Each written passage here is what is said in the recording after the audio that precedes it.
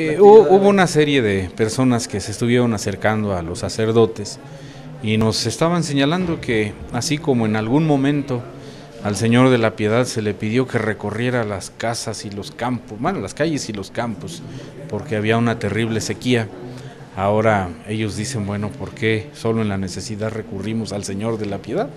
¿Por qué no aprovechamos para hacer una acción de gracias pública que nos permita agradecer a Dios este temporal que ha estado magnífico, estas abundantes cosechas que esperemos sean sostén y fortuna de, patrimonio y de vida para muchos, ¿verdad?